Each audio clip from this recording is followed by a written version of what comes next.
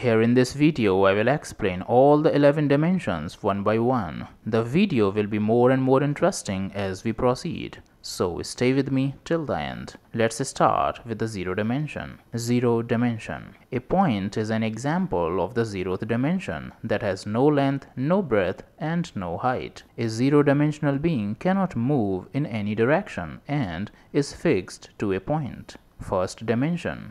A straight line is an example of first dimension that has only one dimension, length. A one-dimensional being can move only in one direction, that is, on a straight line.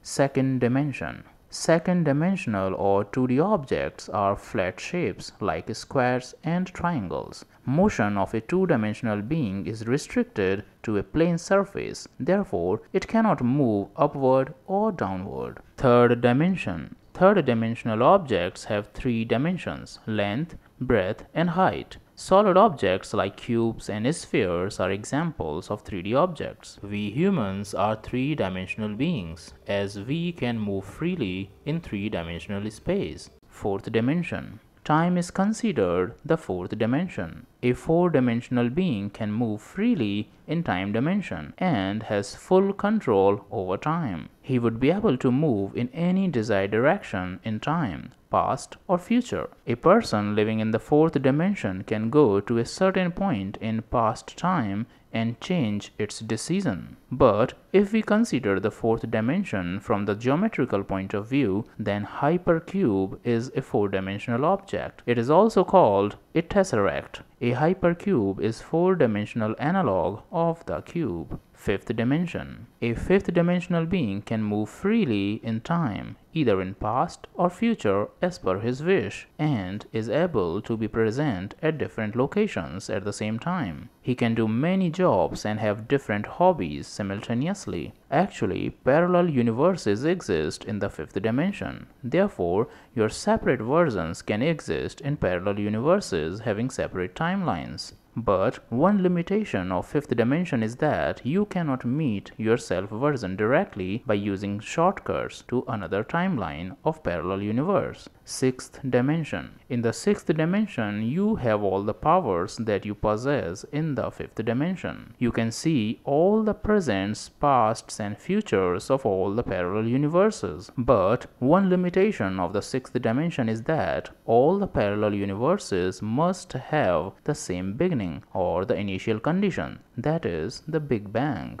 But in the sixth dimension, you are free from the limitations of the fifth dimension, as you can easily jump from the timeline of your universe to any point present on the timeline of any parallel universe and meet your self version. In the sixth dimension, your multiple versions can live their lives in parallel universes simultaneously. Seventh dimension. All the powers of a sixth dimensional being are possessed by the being of seventh dimension. He can have infinite forms of itself and can move from one universe to any other universe. Unlike the sixth dimension, the seventh dimensional universes may have originated from different start conditions, not just the Big Bang.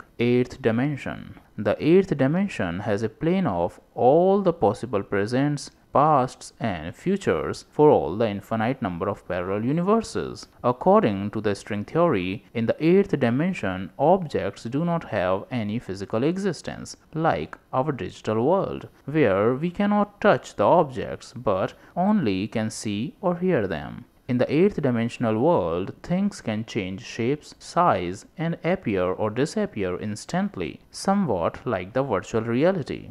Ninth dimension. In the ninth dimension, universes may have their own laws of physics and separate conditions and probabilities of their origin. Surprisingly, in the ninth dimension, many civilizations or aliens may live simultaneously at the same place.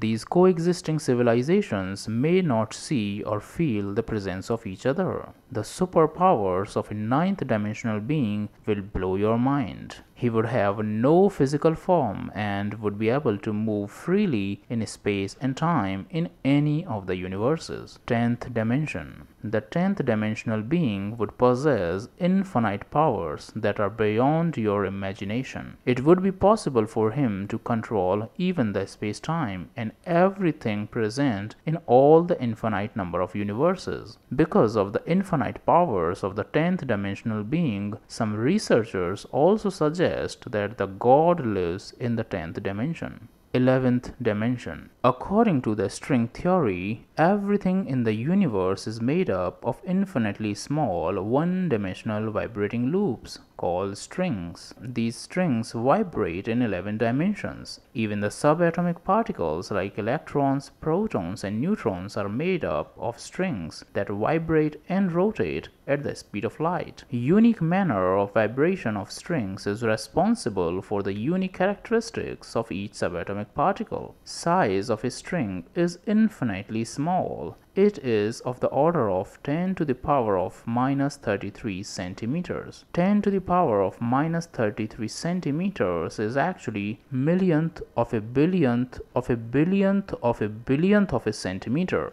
Didn't get it? Let's understand it with an analogy. If we increase the size of an atom up to the size of the whole observable universe, then the size of the string would be just equal to a tree. So friends, these were the 11 dimensions. If you found the video interesting, then please like, share and subscribe. Thank you for watching.